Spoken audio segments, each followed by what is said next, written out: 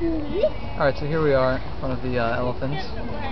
the cool thing about these guys is, they, that they have really, really, really long um, fronts, and that's that's cool.